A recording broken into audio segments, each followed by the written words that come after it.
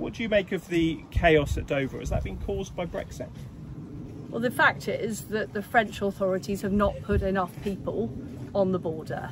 And I'm in touch with the French authorities. I'm very clear that we need to see action from them to resolve the terrible situation that people are facing. This is a situation that has been caused by a lack of resource at the border. And that is what the French authorities need to address. And that is what I am being very clear with them about.